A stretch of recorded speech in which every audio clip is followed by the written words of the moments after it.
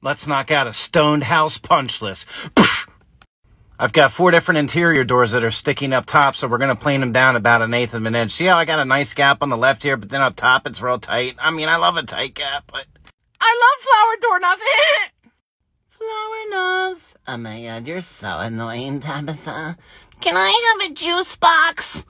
I've never seen these types of hinges before, and if you think I'm removing all the screws, you are located outside of your brain. So I'm hoping this pin comes out nice and easy. I take my Ryobi door hinge pin remover, and then you can just tap, tap, tap, tap, tap, a little tap, tap, tappy.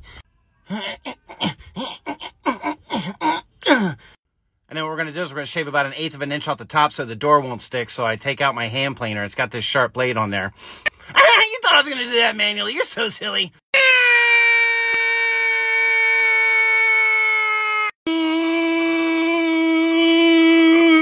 Slap the door back in. Now we got some gappage. Just need a little touch-up paint on there. We got this chair rail over here. It's missing some because the wall was blown out into a half wall. So I'm going to reclaim some of that and put it over there. I'll remove this mud and sand it.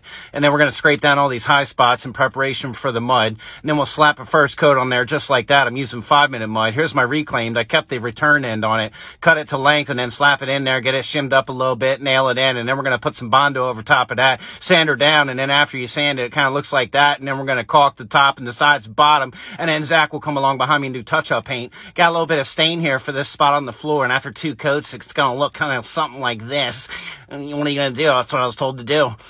Sand down the first coat of mud, apply a second coat of mud, and while that dries up, we'll go to the back of the house. We've got this cable that was removed and left this hole in this metal trim here, and the owner had some extra pieces, so I took one of them, Tracy old guy, and just cut it to match, and then slapped it in there like that, and the window was like, did you just flash me?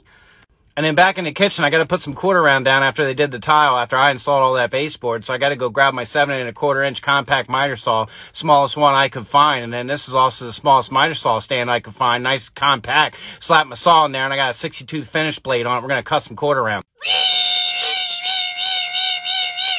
And here it is all slapped in. I threw a couple returns on there on the sides. And in the kitchen cabinets, they removed the toe kick when they did the tile floor and it was crusty anyways.